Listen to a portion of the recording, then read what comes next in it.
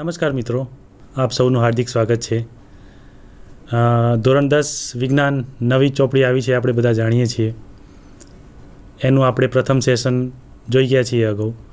તો આજે આપ સૌનું બીજા સેશનમાં હાર્દિક સ્વાગત છે. આપણે પ્રકરણ એકનો અભ્યાસ કર્યો અને પ્રકરણ એકમાં રાસાયણિક પ્રક્રિયા અને સમીકરણ વિશેનો કેટલોક અભ્યાસ કર્યો. તો રાસાયણિક પ્રક્રિયા એટલે શું અને એ પ્રક્રિયાને આપણે સમીકરણ સ્વરૂપમાં કેવી રીતે દર્શાવવી એનો આપણે અભ્યાસ કરીએ છીએ. તો સૌથી પહેલો એક પ્રશ્ન એ ઉદ્ભવે છે કે કોઈપણ રાસાયણિક પ્રક્રિયા હોય, એ રાસાયણિક પ્રક્રિયાને આપણે રાસાયણિક પ્રક્રિયા સ્વરૂપે લખીએ તો વધારે અનુકૂળ આવતી હોય છે. તો આજે આપણે એ શીખવાના છીએ કે દાખલા તરીકે દરેક વસ્તુ બોલવી અને લખવી એમાં ઘણું અંતર હોય છે. તો મિત્રો આપણે એવું કહીએ કે દાખલા તરીકે એસિડ વર્ષા થઈ છે. હવે એસિડ વર્ષાને મારે પેપર પર લખવું હોય, તો કોઈ સમીકરણ સ્વરૂપે હું લખી શકતો હોય, તો જ એ સાચું કહેવાય. પરંતુ હવે આપણે અહીંયા આપણી આસપાસની જેટલી પણ રાસાયણિક પ્રક્રિયાઓ થાય છે, એ દરેક રાસાયણિક પ્રક્રિયાઓની અંદર આવર્ત કોષ્ટકના કોઈને કોઈ તત્વો છુપાયેલા હોય છે. અને આ તત્વોના સ્વરૂપમાં એને લખી શકવું જોઈએ. જો એ તત્વોના સંધાન અનુસંધાને આપણે એને લખી શકીએ, તો જ એ રાસાયણિક પ્રક્રિયા સાર્થક થાય છે અને એનું એક સાચું સ્વરૂપ આપણને મળે છે. તો મિત્રો, આપણે અગાઉ જે બધી પ્રવૃત્તિઓ કરી, આ ચેપ્ટરમાં આપણે ઘણી બધી પ્રવૃત્તિઓ કરવાની છે. એમાંની કેટલીક પ્રવૃત્તિઓ આપણે કરી છે અને એ પ્રવૃત્તિઓ ઉપરથી આપણને કેટલાક અનુમાનો પણ મળ્યા છે. અને આવા અનુમાનો ઉપરથી આપણે અગાઉની પ્રવૃત્તિઓ ઉપરથી આપણે બીજી પ્રવૃત્તિઓ પણ કરવાના છીએ.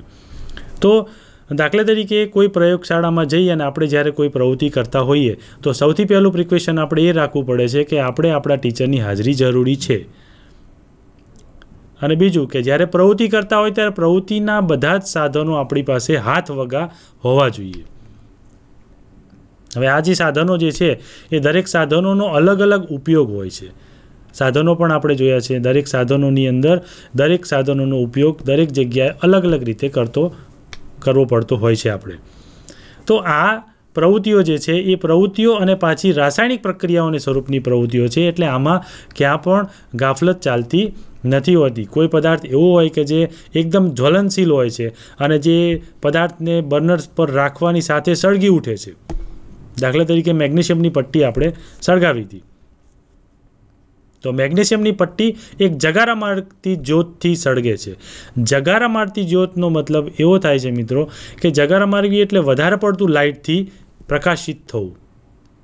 આવી રીતે જ્યારે જગારા મારતી જ્યોતથી પ્રદર્શિત થતી કોઈ પણ પદાર્થ હોય, એ ક્યારેક કોઈ પદાર્થ વધારે પડતું લાઇટ આપી અને વધારે પડતું સળગી પણ શકતું હોય છે. અને એવી જગારા મારતી જ્યોતમાં જો પટ્ટીનું પ્રમાણ મોટું હોય અથવા પટ્ટી લાંબી હોય તો આગ લાગવાના પણ બનાવો બની શકે છે. અને એના માટેના આપણે પ્રિકોશન તૈયાર રાખવા પડતા હોય છે. તો મિત્રો, રાસાયણિક પ્રક્રિયાઓ જે છે, એમાં દરેક ધાતુની પ્રક્રિયાઓ પણ આપણે કરી શકતા હોઈએ છીએ. મેગ્નેશિયમ ધાતુ લીધો એટલે એવું જરૂરી નથી કે આપણે મેગ્નેશિયમની જ પ્રક્રિયા કરી શકીએ. મેગ્નેશિયમ સિવાય તમે કાર્બનની પણ પ્રક્રિયા કરી શકો છો ઝિંકની પણ પ્રક્રિયા કરી શકો છો, એ સિવાય કેલ્શિયમ ધાતુની પણ પ્રક્રિયા કરી શકો છો. આપણે આગળ પણ બધી પ્રક્રિયાઓ વારાફરતી જોવાના છીએ. પણ અહીંયા તાત્પર્ય એ છે આપણું કે રાસાયણિક પ્રક્રિયાઓ એને આપણે સંતુલિત કરવાની છે. સંતુલિતનો મતલબ એ થાય છે કે શું તમે મેગ્નેશિયમ લીધો તો એની સામે તમે ઓક્સિજન જે વપરાયો છે એ કેટલો વપરાશે? એનું પણ આપણી પાસે નોલેજ હોવું જોઈએ. કારણ કે કોઈ પણ પદાર્થ જ્યારે સળગે છે, ત્યારે એને ઓક્સિજનની જરૂર પડે છે. તો મેગ્નેશિયમનો પાંચ ગ્રામ પદાર્થ લીધો હોય કે બે ગ્રામ લીધો હોય, તો બે ગ્રામ મેગ્નેશિયમ માટે કેટલો ઓક્સિજન જરૂરી છે એ પણ આપણે અહીંયા કેલ્ક્યુલેશન કરી શકતા હોઈએ છીએ. અને મિત્રો, એટલા માટે જ તમે ઘણી વખત જોયું હશે કે ટીવીમાં અમુક એવા સમાચાર આવતા હોય છે કે આટલો પદાર્થ હોય ને એની સામે આટલો પદાર્થ જરૂરી છે. તો આ જે કેલ્ક્યુલેશન છે, એ કેલ્ક્યુલેશન એના ઇક્વેશન ઉપરથી કરી શકાય છે. અને આ બધા આપણા વિજ્ઞાનના સિદ્ધાંતો છે. તો હવે આપણે સ્લાઇડ ઉપર જઈશું મિત્રો. તો આપણી જે સ્લાઇડ છે, એ સ્લાઇડ આપણને એવું કહે છે કે આપણી જે પ્રવૃત્તિઓ કરી, એ પ્રવૃત્તિઓ પરથી આપણને શું અવલોકન મળ્યું? તો સૌથી પહેલું અવલોકન આપણે એવું જોઈ શકીએ કે અવસ્થામાં પરિવર્તન. કોઈ પણ પદાર્થ હતો, એની અવસ્થા બદલાઈ ગઈ. તો કેવી અવસ્થા બદલાઈ ગઈ? શું ઘનમાંથી પ્રવાહી થઈ ગયો? કે પ્રવાહીમાંથી વાયુ સ્વરૂપ થઈ ગયો? તો આવું પણ થઈ શકે છે, એની અવસ્થામાં પરિવર્તન આવી શકે છે. પછી બીજું કે રંગમાં પરિવર્તન આવી શકે છે. તમે પ્રવૃત્તિ આગળ જોઈ છે, એમાં રંગ પણ બદલાયો છે. તો રંગમાં પરિવર્તન આવે, કોઈ સફેદ પદાર્થ હોય અને એ પદાર્થ જ્યારે પીળો થઈ જાય અથવા લાલ થઈ જાય, તો આપણે એવું કહી શકીએ છીએ કે એના રંગમાં પણ પરિવર્તન આવી શકે છે. એને પણ આપણે રાસાયણિક પ્રક્રિયા કહી શકીએ છીએ. ત્રીજું છે વાયુનો ઉદ્ભવ. આપણે અગાઉની એક પ્રવૃત્તિમાં પણ જોયું છે કે જેમાં હાઇડ્રોજન વાયુનું નિર્માણ થયું હતું. તો આવા વાયુઓનું પણ નિર્માણ થતું હોય છે. હાઇડ્રોજન છે, ઓક્સિજન છે. તો આવા વાયુઓનું નિર્માણ થાય એ વાયુનો ઉદ્ભવ થયો કહેવાય. આ આપણા અવલોકનો છે કે કોઈ પણ પ્રક્રિયા કર્યા પછી આપણે કેવા પ્રકારનું અવલોકન કરી શકીએ છીએ? અને એ અવલોકન ઉપરથી આપણે રાસાયણિક પ્રક્રિયા લખી પણ શકીએ છીએ. એને સંતુલિત પણ કરી શકીએ છીએ. તો એમ વાયુનો ઉદ્ભવ થાય તો એ વાયુ કેવા પ્રકારનો છે, વાયુ નુકસાન કરતા છે કે નુકસાન કરતા નથી એ પણ આપણે ધ્યાનમાં લઈ શકીએ છીએ. અગાઉની પ્રક્રિયામાં આપણે હાઇડ્રોજન વાયુ બહાર નીકળતા જોયો હતો એવી રીતે ઓક્સિજન વાયુ પણ તમે ક્યાંક નીકળતા જોઈ શકો છો. રંગમાં પરિવર્તન પણ તમે જોઈ શકો છો.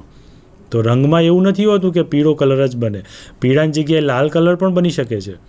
અને પ્રયોગશાળામાં આવા નાના મોટા પ્રેક્ટિકલ્સ આપણે કરતા હોઈએ તો આપણને બધા જ રંગ પરિવર્તનો મળી શકે છે. તાપમાનમાં પરિવર્તન પણ મળી શકે છે. આપણી કસનળી હોય કે આપણો કોનિકલ ફ્લાસ્ક હોય, જ્યારે એની અંદર આપણે બે પદાર્થોને મિક્સ કરતા હોઈએ અને મિક્સ કરવાથી શું તાપમાન વધી જાય છે કે તાપમાન ઘટી જાય છે? રાસાયણિક પ્રક્રિયામાં બધું જ થઈ શકે છે મિત્રો. તાપમાન વધી પણ શકે છે અને તાપમાન ઘટી પણ શકે છે.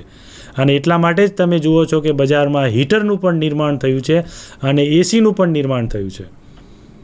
એવા પણ ગેસ છે આપણે જાણીએ છીએ કે એસીમાં ગેસ ભરવામાં આવે છે અને જે ગેસ દ્વારા આપણા ગાડીઓના અને આપણા ઘરના એસી ચાલતા હોય છે. તો એ તાપમાનમાં પરિવર્તન બતાવે છે. એટલે આપણે જ્યારે કોઈ પ્રવૃત્તિ નાના સ્કેલમાં કરતા હોઈએ છીએ કે જેમાં એક ગ્રામ કે બે ગ્રામ જ પદાર્થ આપણે લેવાનો હોય છે.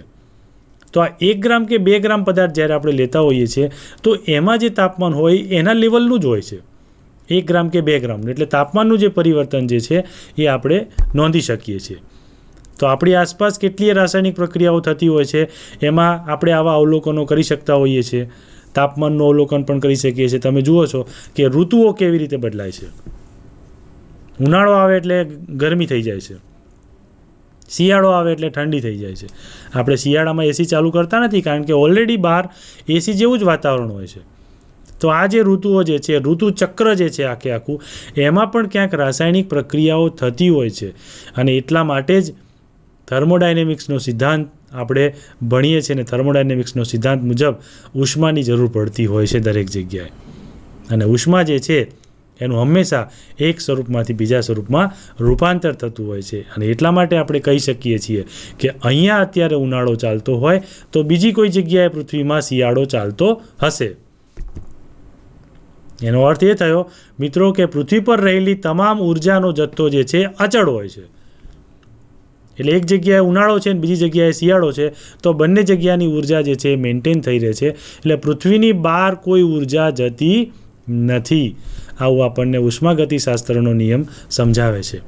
તો મિત્રો, આવા નિયમો ઉપરથી જ આ રાસાયણિક પ્રક્રિયાઓ ચાલતી હોય છે. રાસાયણિક પ્રક્રિયાઓને ચલાવવા માટે નિયમ મુજબ જ થતું હોય છે કામ નિયમની વિરુદ્ધ કોઈ પણ કાર્ય થતું નથી હોતું. તમે મિત્રો જોયું હશે કે જ્યારે કોઈ પણ એસ્ટ્રોનટ એટલે કે ખગોળશાસ્ત્રીઓ પૃથ્વીની બહારની ઘટનાઓનું જ્યારે અવલોકન કરતા હોય છે, જ્યાં શૂન્યાવકાશ હોય છે, એટલે કે ત્યાં ઓક્સિજન હોતો નથી. મિત્રો, આપણે બધા જાણીએ છીએ કે વાતાવરણમાં એટલું બધું પોલ્યુશન થતું હોય છે અને એ પોલ્યુશનમાં કેટલા એવા ગેસ હોય છે કે જે ગેસ દ્વારા એવું લાગે છે કે આવતા દસ વર્ષમાં પૃથ્વી પર રહેવું શક્ય નહીં હોય. અને એટલા માટે સીએનજી અને એલપીજી જેવા ગેસોની શોધ થઈ છે, નેચરલ ગેસ જેવા, કે જે ગેસ ઓછું પ્રદૂષણ આપે છે. પરંતુ એના કરતાં પણ એક સુંદર વસ્તુ છે આપણી પાસે છે, હાઇડ્રોજન બળતણ. જે પાણીમાંથી જ મળે છે. પાણીને આપણે જાણીએ છીએ એચ ટુ ઓ, અને એમાંથી આપણને એચ ટુ મળશે. તો પાણીની કોઈ એવી રાસાયણિક પ્રક્રિયા થઈ હશે કે જેમાં એચ ટુ અને ઓ ટુ આવા બે પ્રકારના ગેસ જ છે બંને? અને આ બંને ગેસ ભેગા થઈ અને એમાંથી પાણીનું નિર્માણ થયું હશે. હવે તમે મિત્રો વિચાર કરો કે આ એચ ટુઓ જે છે, એ ગેસમાંથી બન્યું છે, તો શું પાછું ફરીથી આપણે એ પાણીને ગેસમાં રૂપાંતર ન કરી શકીએ? કરી શકીએ મિત્રો. પણ આ બધું એક પ્રયોગશાળામાં થતું હોય છે. પ્રયોગશાળાના લેવલે આ કામ થતા હોય છે. અને જો આપણે આવું કરી શકીએ, અને જો એમાંથી હાઇડ્રોજન વાયુ છૂટો પાડી શકીએ, અને એનો જો બળતણ તરીકે ઉપયોગ કરીએ, તો વાતાવરણમાંથી ઘણું બધું પ્રદૂષણ દૂર થઈ જાય છે. અત્યારે એક ઉપાય આપણે કર્યો છે સોલર ઉર્જાનો, કે સોલર ઊર્જા દ્વારા આપણે ઘણું બધું પ્રદૂષણ રોકી શક્યા છીએ, કે સોલર ઊર્જા જે છે, એ પુનઃ પ્રાપ્ય ઊર્જા આપણને ફરી ફરી મળ્યા જ કરતી હોય છે, અને જેમાંથી કોઈ પણ પ્રકારનું પ્રદૂષણ થતું નથી, એમાંથી કોઈ રાસાયણિક પ્રક્રિયા પણ થતી નથી હોતી. અને આવી રાસાયણિક પ્રક્રિયા થતી ન હોય તો કોઈ પ્રદૂષણ થવાનો કોઈ પ્રશ્ન રહેતો નથી. તો મિત્રો, આવું જ એક ઉદાહરણ છે એચ ટુ વાયુ, જે વાયુ આપણે અગાઉની પ્રવૃત્તિમાં જોઈ ગયા છીએ. પણ એચ ટુ વાયુમાંથી જ્યારે ઓટુ બને, ભેગો થાય અને એમાંથી એચ ટુ બને છે, તો એ રાસાયણિક પ્રક્રિયામાં ક્યાંક મોટું નુકસાન પણ થાય છે. અને એટલા માટે થોડા પ્રિકોશન ધ્યાનમાં રાખવા પડે છે. મિત્રો, દરેક વસ્તુ એટલી સહેલી નથી હોતી. એવું કહેવાય છે કે જ્યારે એચ ટુ વાયુ ઓ ટુ વાયુ સાથે સંયોજાય છે અને એમાંથી જ્યારે પાણી બને છે, તો સૌથી પહેલાં મોટો ધડાકો થાય છે અને પછી એમાંથી પાણીનું નિર્માણ થાય છે. તો આપણે એવું કહી શકીએ કે પૃથ્વી પર જે પંચોતેર ટકા ભાગ એટલે કે ત્રણ ચતુર્થાંશ ભાગમાં જે દરિયો છે, એ પાણીનું નિર્માણ જ્યારે પણ થયું હશે, પૃથ્વીનું નિર્માણ જ્યારે થયું હશે અને એ નિર્માણ જ્યારે થયું હશે, ત્યારે આ પાણીનું નિર્માણ થયું અને આ પાણીનું નિર્માણ થતી વખતે એવી કોઈ મોટી મોટી રાસાયણિક પ્રક્રિયાઓ થઈ હશે. અને મોટી મોટી રાસાયણિક પ્રક્રિયાઓ દ્વારા આ પાણીનું નિર્માણ થયું હશે. અને પાણીનું આપણે સૂત્ર શોધી કાઢ્યું એચ ટુ ઓ જેને આપણે જુદું પાડી અને એચ ટુ અને ઓ ટુમાં પણ રૂપાંતર કરી શકીએ છીએ, જે આપણે અગાઉ પણ જોયું હતું. બરાબર? તો મિત્રો, મારું તમને એટલું જ કહેવું છે કે આપણી આસપાસ થતી તમામ રાસાયણિક પ્રક્રિયાઓ જે છે, ચાહે ખોરાક રાંધવાની હોય કે પછી વીજળી પડવાની હોય કે પછી ખોરાક ખાવાની પ્રક્રિયાઓ હોય. તો દરેક પ્રક્રિયાઓને આપણે ઓન પેપર લખી શકવા જોઈએ. એનું એક સમીકરણ બનવું જોઈએ. અને આ જે સમીકરણ બને, તો એનો મતલબ એમ થાય કે કોઈ પ્રક્રિયાને તમે એના લાંબા સ્વરૂપમાં વર્ણન કરો છો, તો એ વર્ણનને તમે એક શોર્ટ ફોર્મમાં, એટલે કે એક સમીકરણ સ્વરૂપમાં તમે એને દર્શાવી શકો છો. તો હવે આપણે એ જોવાનો પ્રયત્ન કરીશું. હવે આપણે આગળની સ્લાઇડ જોઈએ કે સ્લાઇડમાં આપણે પરિવર્તન કેવી રીતે થાય છે એ જોવાનો પ્રયત્ન કરીએ. કે રાસાયણિક પ્રક્રિયા છે. એનું વાક્ય સ્વરૂપમાં જો વર્ણન કરવું હોય, તો ઘણું લાંબુ થઈ જતું હોય છે. પણ એને સંક્ષિપ્ત સ્વરૂપમાં લખીએ બરાબર? તો એને શાબ્દિક સમીકરણ કહેવામાં આવે છે. એક ઉદાહરણ જોઈએ આપણે અહીંયા, કે મેગ્નેશિયમની પટ્ટીને જ્યારે આપણે હવામાં સળગાવી, અને એમાંથી આપણને મેગ્નેશિયમનો ઓક્સાઇડ મળ્યો, એ આપણે અગાઉ જોયું. પણ આ જ વસ્તુને આપણે જો સમીકરણ સ્વરૂપમાં લખવું હોય, એટલે કે પ્રક્રિયા સ્વરૂપમાં આપણે જો લખવા માગતા હોઈએ, તો કેવી રીતે લખી શકીએ એ તમે નીચે જોઈ શકો છો. એટલે કે મેગ્નેશિયમ વત્તા ઓક્સિજન અને એક તીર મારેલું છે. એમાંથી મેગ્નેશિયમનો ઓક્સાઇડ બને છે. તો જ્યારે મેગ્નેશિયમ તમે લીધો અને એની અંદર જ્યારે તમે ઓક્સિજનને ઉમેર્યો, ત્યારે આ બંનેને ઉમેરો છો, ત્યારે બંનેને આપણે પ્રક્રિયક કહીએ છીએ. અને આ જે પ્રક્રિયક કહીએ છીએ, એ પ્રક્રિયકમાંથી જ્યારે તીરની આજુબાજુમાં આપણને મેગ્નેશિયમ ઓક્સાઇડ ક્યાંક મળતો હોય છે, એટલે એનો મતલબ એમ થાય કે પ્રક્રિયકમાંથી તમને જે પદાર્થ મળે છે, એને તમે નિપજ કહો છો. અને ઘણીવાર એવું બને કે પ્રક્રિયકો બે હોય અથવા બેથી વધારે પણ હોય અથવા એક પણ હોઈ શકે. ગમે તેટલા હોઈ શકે છે. અને નિપજમાં પણ એવું બને છે, ઘણીવાર એક નિપજ મળે, ઘણીવાર બે મળે, ઘણીવાર ત્રણથી ચાર પણ મળી શકે છે. તો મિત્રો આવું બને છે અને અહીંયા આપણે એવું જોઈ શકીએ છીએ કે રાસાયણિક પ્રક્રિયાને આ શબ્દ સ્વરૂપે જ્યારે લખેલી છે, એ શબ્દ સ્વરૂપે લખેલી છે એટલે એક વાક્યને આપણે નાના એવા એક લીટીમાં સમાવી દીધું છે. હવે એને રાસાયણિક સ્વરૂપે જોવાનો પ્રયત્ન કરીએ. તમે અહીંયા જોઈ શકો છો મિત્રો કે ફેરફાર અનુભવતા મેગ્નેશિયમ અને ઓક્સિજન એ પ્રક્રિયકો છે.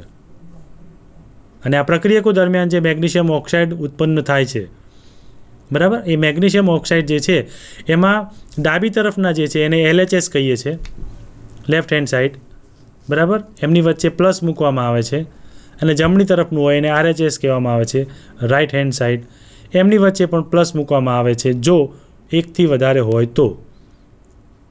એટલે આવા સમીકરણને આપણે શાબ્દિક સ્વરૂપમાં જો લખવું હોય, તો આપણે એને આવી રીતે લખી શકીએ છીએ એમજી વત્તા ઓ ટુ અને એમાંથી આપણે એમજી ઓ કરીએ છીએ. અને એમજીઓ જ્યારે આપણે કરીએ છીએ, ત્યારે એનો મતલબ એવો થાય છે કે આપણે પ્રક્રિયકમાંથી નિપજ બનાવી છે.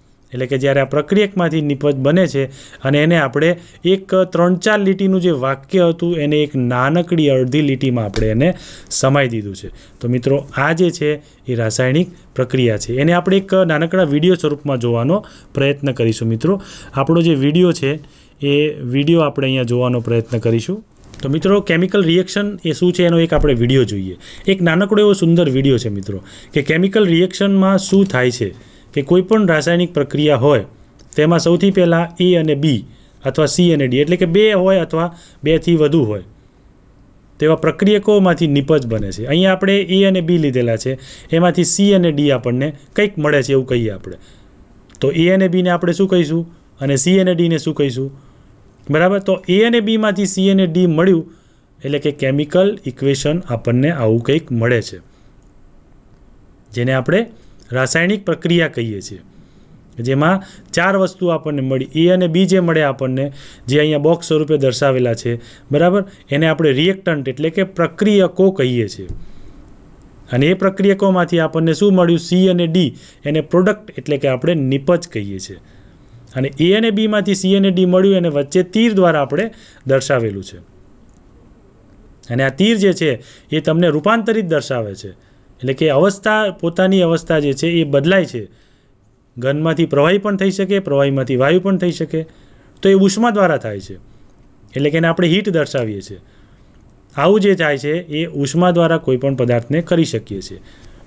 આપણે ઉદાહરણ દ્વારા જોઈ શકીએ છીએ કે હાઇડ્રોજન જે છે, બરાબર, એ હાઇડ્રોજન ઓક્સિજન સાથે કેવી રીતે પ્રક્રિયા કરે છે? હાઇડ્રોજન વત્તા ઓક્સિજન બરાબર પાણી. તો હાઇડ્રોજન અને ઓક્સિજન ભેગું થઈને પાણી બને છે, આપણને ખબર છે. પણ હાઇડ્રોજન એ મૂળ કયા સ્વરૂપમાં હોય છે વાતાવરણમાં? તો એચ ટુ સ્વરૂપમાં હોય છે. ઓક્સિજન ઓ ટુ સ્વરૂપમાં હોય છે અને પાણી જે છે એચ ટુ ઓ સ્વરૂપમાં હોય છે. આવું એક સમીકરણ આપણને મળે છે જે આપણે ખૂબ સારી રીતે જાણતા હોઈએ છીએ. હવે આની અંદર તમે એક વસ્તુ જોઈ શકો છો કે પ્રક્રિયકો અને રિએક્શન એમાં ઓ ટુ છે અને આ બાજુ ઓ છે. તો શું આ પ્રક્રિયા સાચી છે? ના. તો આ પ્રક્રિયા સંતુલિત નથી, કારણ કે પ્રક્રિયકોમાં ઓ અને નિપજમાં ફક્ત ઓ છે. એટલે એક ઓક્સિજનની ઘટ છે આમાં. તો ઓક્સિજનની જે ઘટ છે, એ આપણે પ્રક્રિયાને સંતુલિત કરવા માટે જઈ રહ્યા છીએ. એટલે કે પ્રક્રિયાને આપણે સંતુલિત કરવી પડશે. પણ પ્રક્રિયાને જો સંતુલિત આપણે કરતા હોઈએ, તો પ્રક્રિયાને સંતુલિત કરવા માટે એના કેટલાક સ્ટેપ છે, જે સ્ટેપ આપણે સમજવા પડશે. તો હવે આપણે મૂળ સ્લાઇડ ઉપર આવીએ. આપણી પોતાની સ્લાઇડ છે. કે એ સ્લાઇડમાં આપણે એવું કહીએ છીએ કે પ્રક્રિયકમાં તમે પાણીનું ઉદાહરણ આપણે એટલા માટે જોઈએ છે મિત્રો, કે પાણી એક એવું સ્વરૂપ છે એચ કે જે પાણી જે છે એ ત્રણે ત્રણ સ્વરૂપમાં જોવા મળે છે આપણને, ઘન પ્રવાહીને વાયુ. જ્યારે ઘન સ્વરૂપમાં પાણી હોય છે ત્યારે આપણને બરફમાં જોવા મળે છે, એટલે કે બરફ સ્વરૂપમાં જોવા મળે છે. અને જ્યારે પ્રવાહી સ્વરૂપમાં હોય છે ત્યારે આપણે એનો પીવામાં ઉપયોગ કરીએ છીએ. અને જ્યારે વાયુ સ્વરૂપમાં હોય છે ત્યારે વરાળ સ્વરૂપે હોય છે. પરંતુ ત્રણે ત્રણ અવસ્થામાં એનું સૂત્ર તો આપણે એચ ટુ ઓ જ લખીએ છીએ. મિત્રો, એટલે આપણે જ્યારે પણ પ્રક્રિયા લખીશું અને એ પ્રક્રિયામાં જ્યારે એચ ટુઓનો ઉલ્લેખ થાય, ત્યારે એવું જરૂરી નથી કે એચ ટુઓ લિક્વિડ હોય, ગેસ હોય કે સોલિડ હોય. ત્રણમાંથી ગમે તે અવસ્થાનો આપણે ઉપયોગ કરી શકીએ છીએ. એ પ્રક્રિયા ઉપર ડિપેન્ડ કરે છે કે પ્રક્રિયામાં આ પાણીની કયા સ્વરૂપમાં જરૂર પડી છે. બરાબર? તો આવી રીતે આપણે એક પ્રક્રિયાને એને રાસાયણિક સ્વરૂપમાં લખવાનો પ્રયત્ન કર્યો અને રાસાયણિક સ્વરૂપમાં લખવાનો પ્રયત્ન કર્યા. પછી એના કેટલાક સોપાનો છે ને એ સોપાનો શેના માટે છે? સંતુલિત કરવા માટે. તમે લખી તો દીધું, પણ એને સંતુલિત કરવું પડશે તમારે. તો હવે આપણે સ્લાઇડ દ્વારા એનું ઉદાહરણ જોઈએ આપણે, કે ઉદાહરણ કેવી રીતે જોઈ શકીએ છીએ આપણે. આપણી પ્રથમ સ્લાઇડ છે, સંતુલિત રાસાયણિક સમીકરણ.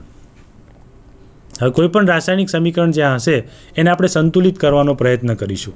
હવે દાખલા તરીકે અહીંયા એક નિયમનું નામ લખેલું છે કે દળ સંચયના નિયમ મુજબ કોઈપણ રાસાયણિક પ્રક્રિયા સંતુલિત કરવી હોય, તો એના માટે દળ સંચયનો નિયમ કામ કરે છે. આ નિયમ એવું છે કે ભાઈ દળ કોઈ પણ પદાર્થ હોય, એમાં દ્રવ્યનું સર્જન કે વિનાશ થતો નથી હોતો, ફક્ત ને ફક્ત એનું એક સ્વરૂપમાંથી બીજા સ્વરૂપમાં રૂપાંતર થતું હોય છે. અને આ જે રૂપાંતર થાય છે, એ રૂપાંતરને આપણે પ્રક્રિયક અને નિપજો તરીકે નામ આપેલું છે. બરાબર? તો હવે એનું તબક્કાવાર આપણે સંતુલન કરવાનો પ્રયત્ન કરીએ. અહીંયા એક પ્રક્રિયા લખેલી છે. ઝીંક વત્તા સલ્ફ્યુરિક એસિડ. ઝીંક વત્તા સલ્ફ્યુરિક એસિડની જે પ્રક્રિયા છે, એમાં ઝીંકની સાથે સલ્ફ્યુરિક એસિડ નાખવાથી ઝીંક સલ્ફેટ વત્તા હાઇડ્રોજન બને છે. આવું આપણે અગાઉની પ્રવૃત્તિમાં જોઈ ગયા છીએ. બરાબર? તો આ પ્રવૃત્તિને આપણે શબ્દોમાં લખી છે અહીંયા અને એ શબ્દોમાં લખ્યા પછી એને આપણે સમતોલિત રાસાયણિક સમીકરણ સ્વરૂપમાં લખી જોઈએ. તો આપણને આવું કંઈક લખાશે. અને આ જે આપણે લખ્યું, એ જે લખેલું છે, એને આપણે જોવાનો પ્રયત્ન કરીએ કે ઝીંક છે ઝેડ એન વત્તા H two S O four છે. અને તીર મારીને આપણને Z N S O four વત્તા એચ ટુ આપેલું છે. બરાબર? તો આ સમીકરણને સંતુલિત કરવાનો આપણે પ્રયત્ન કરીશું કે સંતુલિત છે કે નહીં એ જોવાનો આપણે પ્રયત્ન કરીએ છીએ. તો સૌથી પહેલાં પરમાણુની સંખ્યા લખીશું મિત્રો. પરમાણુની સંખ્યા અહીં આપણને આપેલી છે. તત્વ છે. તો એક રાસાયણિક પ્રક્રિયામાં જેટલા પણ તત્વો આપેલા હોય એને આપણે આ કોષ્ટકમાં દર્શાવવાનો પ્રયત્ન કરીશું. તો અહીંયા આપણી પાસે એક ઝીંક તત્વ છે. બીજું હાઇડ્રોજન તત્વ છે, ત્રીજું સલ્ફર તત્વ છે અને ચોથું ઓક્સિજન તત્વ છે આપણી પાસે. આ ચાર તત્વો આપણને આપેલા છે. અને બીજા કોષ્ટકની બીજું ખાનું જે છે, એમાં પ્રક્રિયકોમાં પરમાણુની સંખ્યા આપેલી છે અને નિપજોમાં પરમાણુની સંખ્યા આપેલી છે, એલએચએસ અને આરએચએસ. તો બંનેમાં આપણે પરમાણુ ગણવાના છે. તો સૌથી પહેલાં આપણે પ્રક્રિયકના પરમાણુ ગણીશું. અને પ્રક્રિયકના પરમાણુ ગણવા માટે ફરીથી આપણે પ્રક્રિયા સમીકરણ જોઈશું આપણે. તમે જોઈ શકો છો કે પ્રક્રિયકમાં ઝીંકનો એક પરમાણુ છે, હાઇડ્રોજનના બે પરમાણુ છે, સલ્ફરનો એક પરમાણુ છે, અને ઓક્સિજનના ચાર પરમાણુ છે. એવી રીતે મિત્રો, અહીંયા જે પરમાણુઓ તમને આપેલા છે, એ પરમાણુઓ પ્રક્રિયકના અને નિપજના જે તમે જોઈ શકો છો. તો દાખલા તરીકે આપણે ઝીંકની વાત કરીએ. સૌપ્રથમ ઝીંકની જ વાત કરીએ છીએ. પ્રક્રિયકમાં ઝીંક જે છે, એનો એક જ પરમાણુ છે. અને તીરની બીજી બાજુએ, એટલે કે આપણે નિપજની વાત કરીએ છીએ, એમાં પણ ઝીંકનો એક જ પરમાણુ છે. તમે જોઈ શકો છો. હવે આપણે હાઇડ્રોજનની વાત કરીએ. તો મિત્રો, હાઇડ્રોજનના પ્રક્રિયક સાઈડે પ્રક્રિયક સાઈડે એચ ટુ એસો ફોરમાં એચ ટુ એટલે કે બે હાઇડ્રોજનના પરમાણુ છે. અને આપણે નિપજની વાત કરીએ, તો નિપજમાં એચ ટુ આપેલું છે પાછળ ગેસ સ્વરૂપમાં, એમાં પણ હાઇડ્રોજનના બે પરમાણુ આપણને આપેલા છે. હવે આપણે સલ્ફરની વાત કરીએ, તો સલ્ફર જે છે એ એચ ટુ એસો ફોરની અંદર એક જ સલ્ફર આપેલો છે, પ્રક્રિયકમાં. આ જ વસ્તુ આપણે નિપજ બાજુએ જઈએ તો નિપજમાં Z N S O four આપેલું છે અને ઝેડ એન એસો ફોરમાં એક જ એસ આપેલું છે. એટલે એનો મતલબ એવો થાય કે પ્રક્રિયકમાં એક અને નિપજમાં એક બંનેમાં એક એક સલ્ફર આપણને આપેલો છે. મિત્રો, હવે આપણી પાસે રહ્યું ફક્ત ઓક્સિજન. તો ઓક્સિજનને પ્રક્રિયકમાં જોઈએ આપણે. ઓ ફોર એટલે કે એચ ટુ ઓ ફોર. એમાં આપણને કેટલા છે? ચાર આપેલા છે. એચ ટુ એસો ફોરમાં ચાર ઓક્સિજન છે પ્રક્રિયકમાં. નિપજ બાજુ આવીએ આપણે.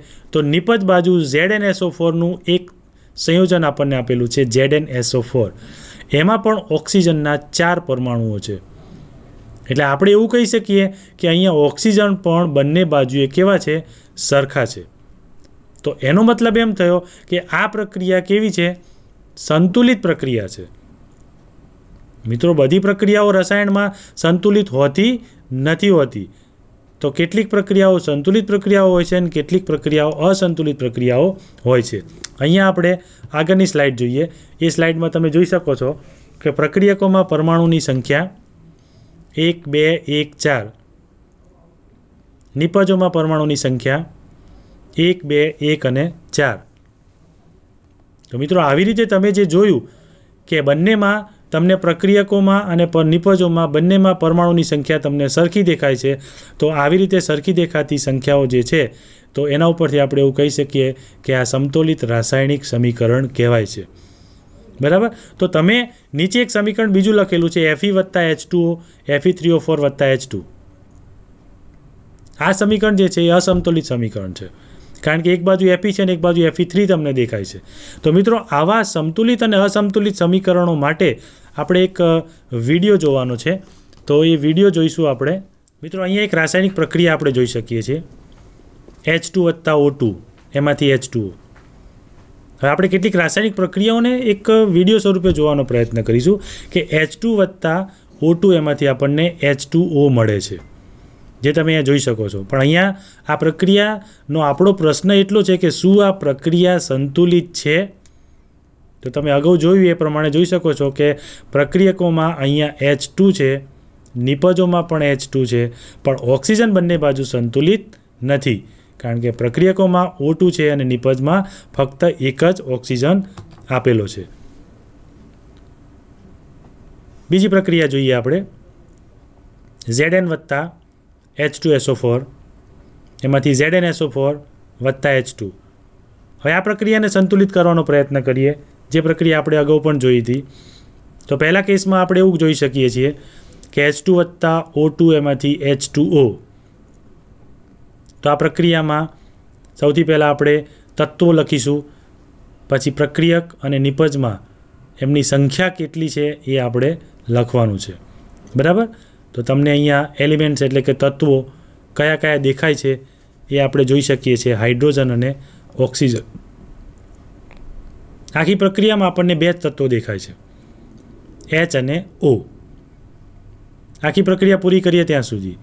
હવે પ્રક્રિયકની અંદર હાઇડ્રોજન બે છે અને ઓક્સિજન પણ બે છે. તમે નિપજમાં જોઈ શકો છો કે હાઇડ્રોજન બે છે, પરંતુ ઓક્સિજન એક જ છે. ઓક્સિજન આપણી પાસે એક જ છે એચ ટુઓમાં બરાબર? તો હવે આ પ્રક્રિયાને આપણે કેવી પ્રક્રિયા કહીશું? બે બે છે અને આ બાજુ બે એક છે. તો આ પ્રક્રિયા સંતુલિત કહેવાય નહીં, કારણ કે અહીંયા હાઇડ્રોજન બંનેમાં સંતુલિત છે બે બે. પરંતુ ઓક્સિજન એ સંતુલિત નથી, કારણ કે ઓક્સિજન પ્રક્રિયકમાં બે છે અને નિપજમાં એક આપેલો છે. તો આ જે છે એ અનબેલેન્સ્ડ પ્રક્રિયા, એટલે કે સંતુલિત પ્રક્રિયા નથી. એટલે આવી પ્રક્રિયાને આપણે સંતુલિત કરવા માટે આ બે અને એક જે છે એને સંતુલિત કરવા પડશે.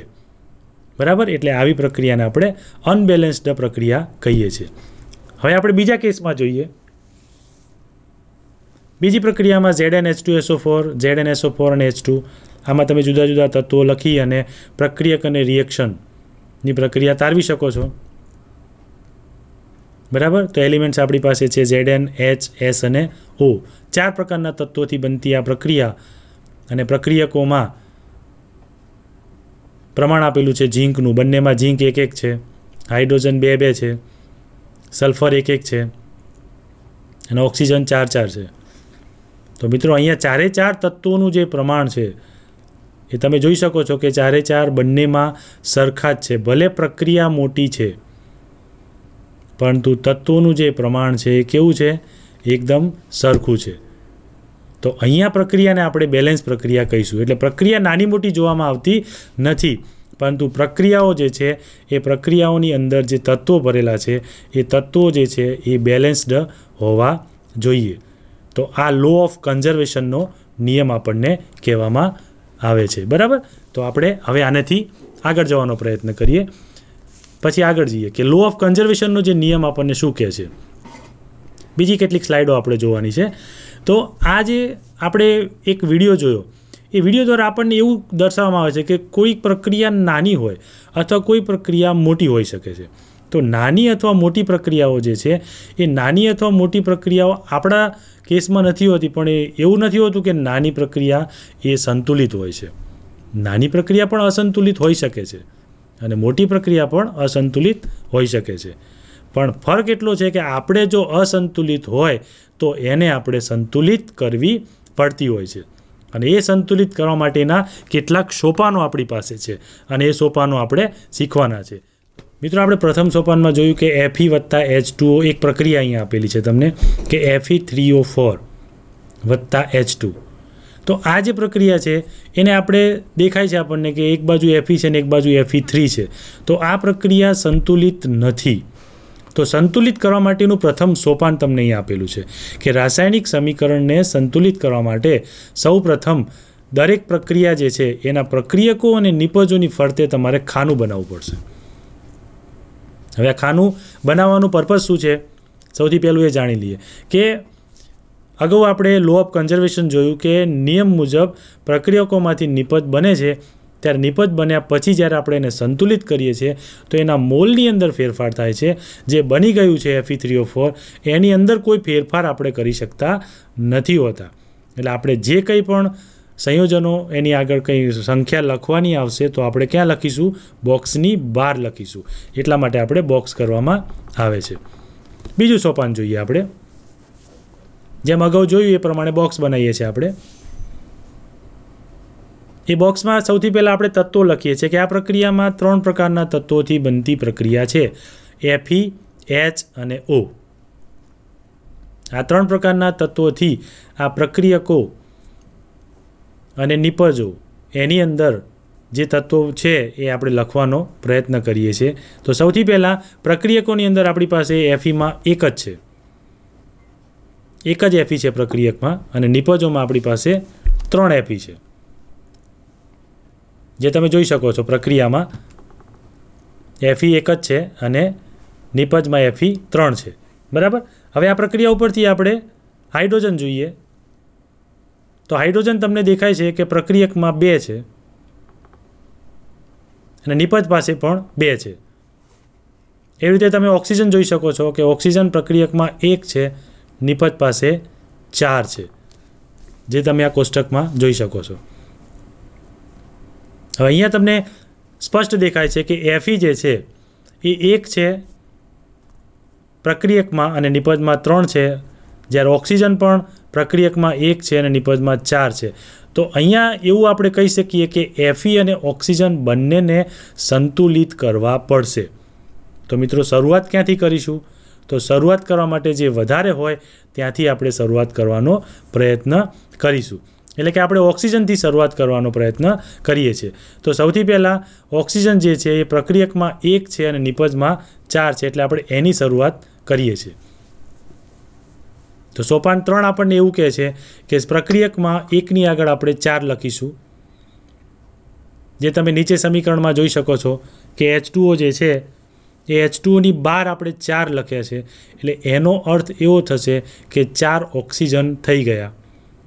જે નિપજમાં ચાર હતા, જેની આપણે જરૂર હતી. એટલે શરૂઆતમાં એચ ટુઓમાં કોષ્ટકમાં તમે જોઈ શકો છો કે શરૂઆતમાં એચ ટુઓમાં એક હતો અને સંતુલિત કર્યા પછી એક ગુણ્યા ચાર થઈ ગયા, એટલે કે ચાર થઈ ગયા. અને નિપજમાં પણ ચાર છે. એટલે બંને બાજુ સંતુલિત થઈ ગયું. એટલે આપણે એવું કહી શકીએ કે અહીંયા આપણે હાઇડ્રોજન જે છે, બરાબર, એ તો સંતુલિત હતો જ. અને આપણે ઓક્સિજનને સંતુલિત અહીંયા કરી દીધું. હવે આગળનું સોપાન જોઈએ એનું. સોપાન નંબર ચાર. કે હવે આપણે હાઇડ્રોજનને, હાઇડ્રોજન પરમાણુને સંતુલિત કરવાનો પ્રયત્ન કરીશું. હાઇડ્રોજન તમે અહીંયા જોઈ શકો છો કે ફોર એચ ટુઓમાં ચાર દુને આઠ છે. બરાબર? જે નીચે આઠ આપેલા છે. અને પેલી બાજુ નિપજોમાં બે હતા. બરાબર? એની આગળ આપણે ફરીથી બે લખ્યા, એટલે ચાર થઈ ગયા. બરાબર? હવે જો એની આગળ આપણે ચાર લખીએ, તો ચાર ગુણ્યા બે, એટલે કે આઠ થઈ જશે. એટલે આપણે હાઇડ્રોજન સંતુલિત જે હતા, એમાં પણ ડિસ્ટર્બ થયું, એને પણ આપણે સંતુલિત કરવાનો પ્રયત્ન કર્યો. એટલે હાઇડ્રોજન પણ આપણે સંતુલિત થઈ ગયા છે.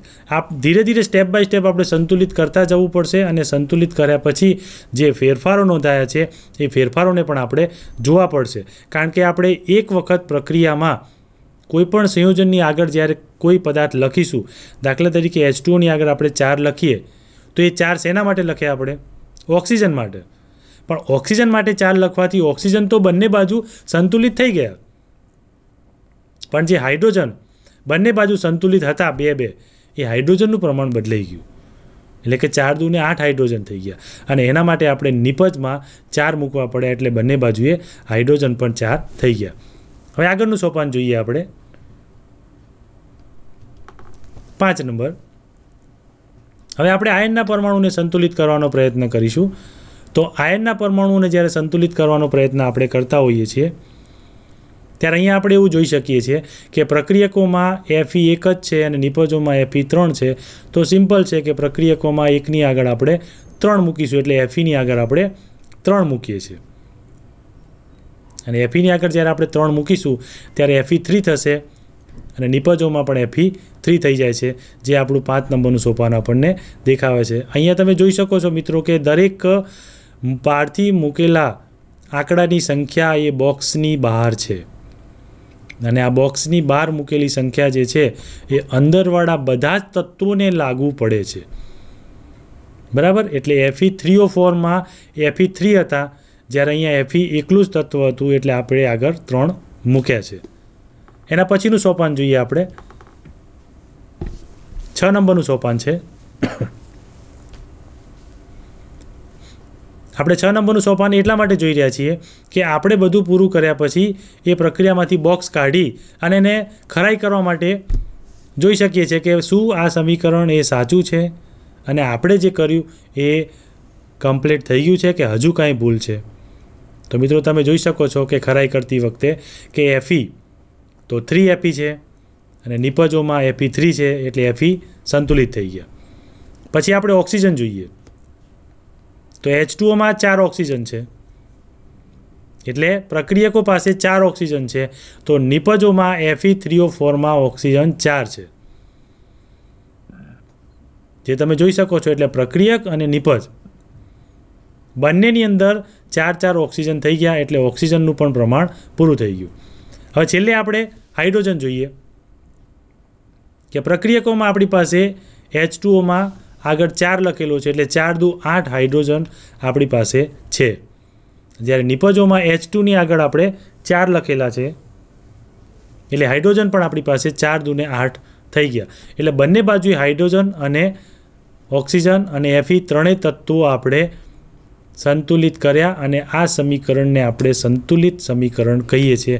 અને આ પદ્ધતિનું એક નામ આપેલું છે, જેને આપણે હીટ એન્ડ ટ્રાયલ પદ્ધતિ કહીએ છીએ. પદ્ધતિ આ હિટ એન્ડ ટ્રાયલ પદ્ધતિ તરીકે ઓળખાતી હોય છે. એનું એક છેલ્લું સોપાન છે આપણી પાસે. સાત નંબરનું સોપાન. કે સાત નંબરનું સોપાન આપણને એવું કહે છે કે કોઈ પણ પ્રક્રિયા સમીકરણ હોય, એ સમીકરણ તો તમે બનાવી દીધું, પણ એને જો વધારે માહિતીસભર બનાવવું હોય, તો પ્રક્રિયકો અને નિપજોના સૂત્રો છે, એને એની પોતાની ભૌતિક અવસ્થા સ્વરૂપે આપણે લખવા પડે છે. અને આ ભૌતિક સ્વરૂપે અવસ્થાઓ એ કયા સ્વરૂપમાં હોય છે એ તમે પ્રક્રિયામાં જોઈ શકો છો. તો મિત્રો આ જે સ્વરૂપો જે છે એને આપણે આવા કેટલાક નામ આપ્યા છે. વાયુરૂપ, પ્રવાહી, જલીય અને ઘન અવસ્થા. તો જે વાયુરૂપ હોય છે એને આપણે જી લખીએ છીએ. પ્રવાહી સ્વરૂપમાં હોય છે એને આપણે એલ લખીએ છીએ. અને જલીય સ્વરૂપમાં હોય છે એને આપણે એ ક્યુ, એકવાઇસ એટલે કે એક્વેરિયસ સ્વરૂપમાં લખીએ છીએ. અને એસ જે છે, એ સોલિડ ફોર્મમાં છે. તો તમે જોઈ શકો છો કે એફઈ જે છે, એ સોલિડ સ્વરૂપમાં આપણને અહીંયા દર્શાવવામાં આવ્યું છે. એફઈને આપણે સોલિડ સ્વરૂપમાં દર્શાવીએ છીએ અને એનાથી આગળ એચ જે છે, એ ગેસ સ્વરૂપમાં છે. જે તમે જોઈ શકો છો.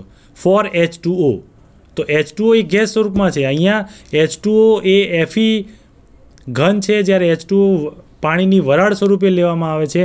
એટલે આપણે એવું કહી શકીએ કે આ એફી એટલે કે આ ધાતુ ઉપર પાણીની વરાળ પસાર કરવામાં આવતી હશે. એવું આપણે કહી શકીએ છીએ. બરાબર? તો મિત્રો, અહીંયા પાણીની વરાળ પસાર કરવાથી ધાતુ ઉપર આપણને આવો કોઈ પદાર્થ મળે છે. એફી થ્રીઓ ફોર અને એફી થ્રીઓ ફોરને આપણે સોલિડ સ્વરૂપમાં જોઈ શકીએ છીએ. અને આ જે સોલિડ સ્વરૂપમાં આપણે જોયો, એ પાણીની વરાળ ધાતુ ઉપર પસાર કરવાથી આપણને આવું કોઈ સ્વરૂપ મળી શક્યું છે. બરાબર? તો મિત્રો, આ જે સ્વરૂપ છે, એમાં છેલ્લે આપણને એચ ટુ ગેસ સ્વરૂપમાં મળે છે. અને આ ગેસ સ્વરૂપમાં મળે છે, એના ઉપરથી આપણે શું નક્કી કરી શકીએ? પ્રક્રિયાઓના કેટલાક પ્રકારો નક્કી કરી શકીએ છીએ. પણ આ પ્રકારો શીખતા પહેલાં આપણે એ પ્રક્રિયાને સંતુલિત કરી અને સંતુલિત કર્યા પછીની જે વસ્તુઓ છે, એની અવસ્થાઓ છે અને માહિતી સભર વધુ બનાવવા માટે એની અવસ્થાનો ઉલ્લેખ કરવો ખૂબ જ જરૂરી બને છે. હવે આ જે અવસ્થાઓનો તમે ઉલ્લેખ કર્યો, એમાં ક્યાંક એવું બને છે, દાખલા તરીકે એચ ગેસ છે. તો આ એચ ગેસ છે, એ પાણીની વરાળ સ્વરૂપે છે. અને પાણીની વરાળ સ્વરૂપે લીધેલો આ એચ ગેસ, એ લિક્વિડ સ્વરૂપે લઈએ તો શું ફેર પડશે? મિત્રો, એને થોડુંક વધારે સમજવાનો આપણે પ્રયત્ન કરીએ. કે તમે જોઈ શકો છો મિત્રો, કે પાણી જે છે, એ ત્રણ સ્વરૂપમાં હોય છે. બરાબર? ઘન, પ્રવાહી અને વાયુ. જ્યારે કોઈ પણ ઘન પદાર્થ ઉપર પાણીની વરાળને પસાર કરવામાં આવે છે, ત્યારે એ ઘન પદાર્થ જે છે, એ ગરમ તો થાય જ છે. પણ ગરમ થવાની સાથે એ પદાર્થ જે છે, એ પાણીની વરાળ સાથે મિક્સ થઈ જાય છે. કારણ કે તમે જાણો છો મિત્રો કે એચ ટુઓની અંદર બે પ્રકારના ગેસ હોય છે. એચ ટુ અને ઓ ટુ આ બે પ્રકારના ગેસમાંથી ગમે તે એક પ્રકારનો જે ગેસ છે એ એફી સાથે જોડાવાનો પ્રયત્ન કરે છે. અને અહીંયા તમે જોઈ શકો છો કે કયો ગેસ જોડાય છે. એફીની સાથે એચ ટુ આપણે વરાળ સ્વરૂપમાં રૂપાંતર કર્યું, એટલે એમાંથી એફી થ્રીઓ ફોર બને છે. અને એપી થ્રીઓ ફોર જે બન્યું, એ એપી થ્રીઓ ફોરનો મતલબ એવો થયો કે એચ ટુઓ જે ગેસ સ્વરૂપમાં હતું, એમાંથી આપણે ઓક્સિજન જે છે એપી સાથે સંયોજાયો. અને ઓક્સિજન એપી સાથે સંયોજાવાથી એમાંથી પાછળ શું વધ્યું? હાઇડ્રોજન. અને આ હાઇડ્રોજન જે વધ્યો છે, એ હાઇડ્રોજન વધ્યો એ પણ ગેસ સ્વરૂપમાં છે. તો આ જે ગેસ સ્વરૂપમાં છે, એ હાઇડ્રોજન તો હંમેશા ગેસ સ્વરૂપમાં જ હોય છે, પણ પાણી જે છે, એના ત્રણ સ્વરૂપો હોય છે. એટલે આપણે અગાઉનું જે સમીકરણ જોયું હતું, સોપાન છ, એ સોપાનમાં આપણે એક શબ્દ હતો હીટ એન્ડ ટ્રાયલ પદ્ધતિ. બરાબર? તો હીટ એન્ડ ટ્રાયલ પદ્ધતિ એ એવું કહેવા માગે છે કે આ પદ્ધતિનું એક નામ આપેલું છે કે તમે કોઈ પણ પ્રક્રિયામાં એને એડિશનલ બોક્સ બનાવ્યા પછી ઉમેરો છો, તો ઉમેરવાથી આખું સમીકરણ એ ડિસ્ટર્બ થઈ જતું હોય છે.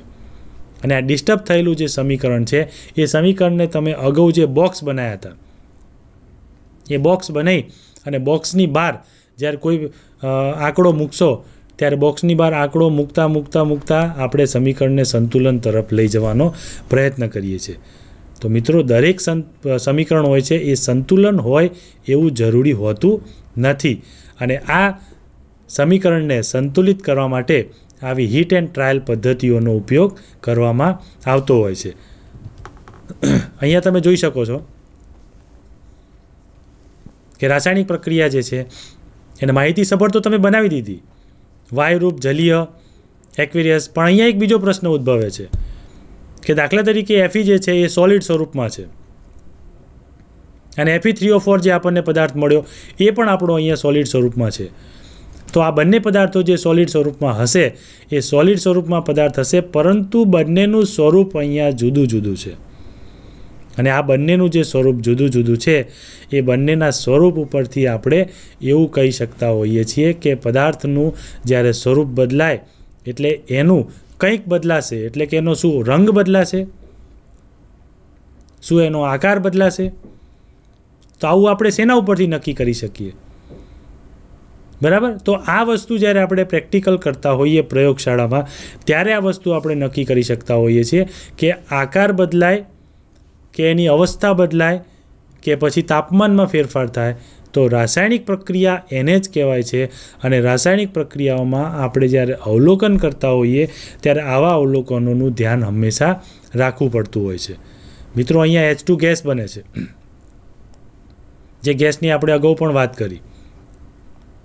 એચ ટુ વત્તા ઓ ટુ એમાંથી એચ ટુઓ બને છે પાણી. તો એ જ પાણી અહીંયા આપણે ઉમેર્યું અને એ જ પાણીમાંથી આપણે ફરીથી પાછો એચ ટુને અલગ કર્યો. તો આપણે અહીંયા બધું જ કરી શકીએ છીએ. રાસાયણિક પ્રક્રિયા એક એવી વસ્તુ છે કે જેમાંથી તમે દરેક પ્રકારનું નિર્માણ કરી શકો છો.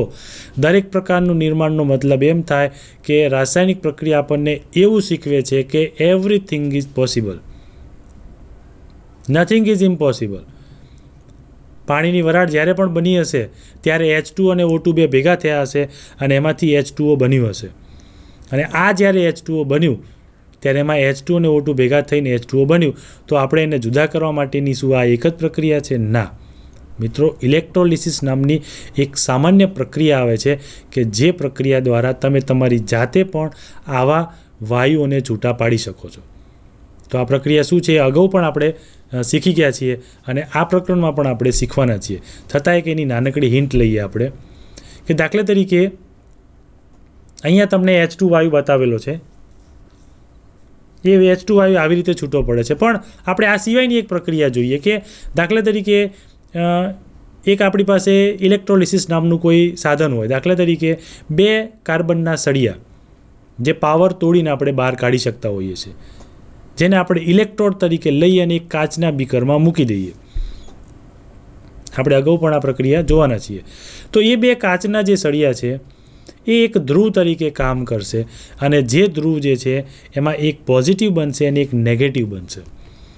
અને કાચના બીકરમાં આપણે એચ ટુઓ ભરીશું, પાણી ભરીશું. અને એ જે પાણી આપણે ભરીશું, એ પાણીમાં ત્રણ વોલ્ટનો ફક્ત પાવર આપીશું. અને એ જે પાવર તમે આપશો અને એ પાવરથી એચ ટુઓની અંદરથી તમને એચ ટુ અને ઓ ટુ બંને છૂટા પડતા જોવા મળશે. તો મિત્રો, આપણે આ પ્રવૃત્તિ ઘરે પણ કરી શકીએ છીએ અને એચ ટુ અને ઓ ટુ જે છે એ એવા વાયુઓ છે કે જે રંગવિહીન, ગંધવિહીન અને સ્વાદવિહીન છે, જે નરી આંખે જોઈ શકાતા નથી. પણ છતાં પણ તમે એનો અનુભવ કરી શકશો. કારણ કે જે બે ધ્રુવ બન્યા, કાર્બનના એ બે ધ્રુવમાં એક એનોડ હશે ને એક કેથોડ હશે. તો આવા બંને ધ્રુવની અંદરથી જ્યારે વાયુ નીકળશે, ત્યારે તમને કદાચ નરી આંખે થોડો થોડો દેખાશે. પરંતુ એના કરતાં પણ બીજું એક ઓબ્ઝર્વેશન તમે કરશો, ત્યારે તમને ખબર પડશે કે પાણીનું લેવલ જે છે, એ ધીરે ધીરે શું થશે? ઓછું થશે. અને આ જે પાણીનું લેવલ છે, એ ધીરે ધીરે જ્યારે ઓછું થતું હોય, ત્યારે આ લેવલ ઓછું થાય. ત્યારે તમે એવું કહી શકો છો મિત્રો કે આમાંથી કંઈક છૂટવું પડે છે. અને કોઈ લિટમસ પેપર દ્વારા અથવા કોઈ એવા પદાર્થ દ્વારા આવા એચ ટુ અને ઓ ટુને જો તમે કલેક્શન કરી શકતા હોય, તો તમે એનું કલેક્શન કરીને પણ એનો ઉપયોગ કરી શકો છો. મિત્રો, આ જે વસ્તુ છે, પાણીમાંથી એચ ટુને ઓ ટુ છૂટું કરવાની, એ એક નોર્મલ પદ્ધતિ છે. પણ નોર્મલ પદ્ધતિ જે છે, એ નોર્મલ પદ્ધતિની જગ્યાએ એનો કેટલો ડિમાન્ડ છે ને કેવી રીતે જુદી પાડવી અને એની કેટલી કિંમત છે દાખલા તરીકે ઓક્સિજનની કેટલી કિંમત છે, એ તો કોઈ દર્દીને પૂછીએ ત્યારે ખબર પડે. કે દર્દીને જ્યારે ઓક્સિજનની જરૂર પડતી હોય અને એ બાટલો જ્યારે ઓક્સિજનનો એ ખરીદીને લાવતો હોય, ત્યારે ખબર પડે મિત્રો કે હવામાં રહેલો ઓક્સિજન એ આપણે જ્યારે નોર્મલી લઈ શકતા નથી હોતા અને જ્યારે બાટલા સ્વરૂપે કોઈ દર્દીને ચઢાવવો પડે છે, ત્યારે કેટલો મોંઘો પડે છે. તો મિત્રો, વાતાવરણમાં રહેલો આ જ ઓક્સિજન એ આપણો જ છે અને એટલા માટે જ એવું કહેવાય છે કે આ પર્યાવરણ એ આપણું પર્યાવરણ છે અને એની જવાબદારી આપણી છે અને એ પર્યાવરણને આપણે જ સાચવવાનું છે. અને એટલા માટે પોલ્યુશન ન થાય, એની જવાબદારી પણ આપણી જ છે અને એ ઓક્સિજન આપણે જ લેવાનો છે. તો ભવિષ્યમાં આવી ઓક્સિજનની રાસાયણિક પ્રક્રિયાઓ જે છે એ ખૂબ જ સારી રીતે થાય, એના માટે આપણે સચેત રહીશું. અને આજનું સેશન મિત્રો અહીંયા પૂરું કરીએ છીએ. હવે આપણે નેક્સ્ટ સેશનમાં મળીશું. આનેથી આપણે આગળ ચલાવવાનો પ્રયત્ન કરીશું. આભાર, ધન્યવાદ.